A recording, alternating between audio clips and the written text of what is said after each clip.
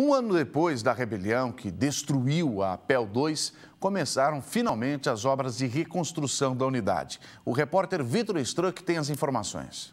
Com três ou quatro viagens com o Bobcat, a caçamba já está cheia de restos de telhas, colchões queimados, pedaços de computadores, o que ainda havia sobrado da limpeza aqui na PEL 2. Em seguida, tudo é levado direto para Curica. Esta vai ser a rotina nesta primeira fase da obra, que começou nesta quarta-feira, um ano antes do primeiro aniversário do motim. Nós estamos com uma demanda hoje muito importante, que é a questão do, do Enem e a questão do vestibular, que os presos dessa unidade irão participar de ambas ambas as demandas. É, primeiramente, nós vamos trabalhar a parte de limpeza e estruturação da empresa que está destinando a sua mão de obra aqui para a gente. E vamos, primeiramente, trabalhar em cima de escola, arrumar as escolas para que possamos proporcionar tanto a realização do Enem quanto ao vestibular da UEL, que vai ser realizado dentro da unidade. Na época da rebelião, a cadeia de 22 mil metros quadrados estava com 1.150 internos, 40 acima da capacidade. Um preso morreu após ter sido arremessado do telhado. Depois que a rebelião foi controlada, 400 foram transferidos. E na semana passada, os que estavam no quarto e quinto distritos policiais foram trazidos de volta. De modo que agora a penitenciária está com 930. A situação dos mentores da rebelião ainda está sob análise da justiça. Esses presos que supostamente foram os mentores dessa rebelião, eles foram transferidos de imediato.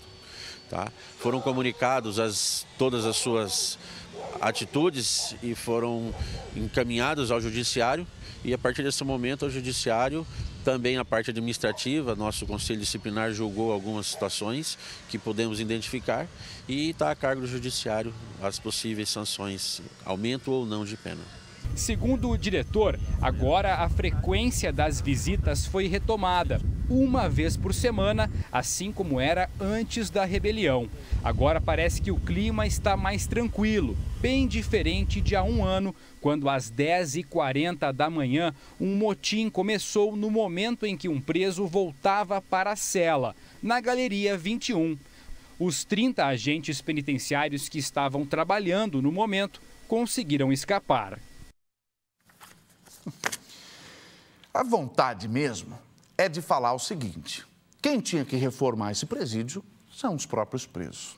Os que participaram comprovadamente, tudo com a devida investigação, respeitando o devido processo legal, condenados por causar o dano ao patrimônio público, sabe? Nada de justiça com as próprias mãos, nada de autotutela, nada de tribunal de exceção, não, não.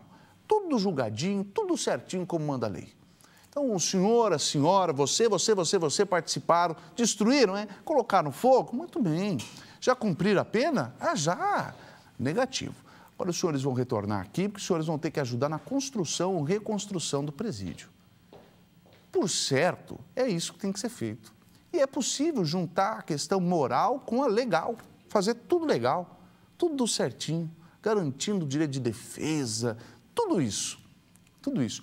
Porque é um absurdo o Estado tem que gastar um dinheirão agora para recuperar isso daí? Dinheirão, dinheiro.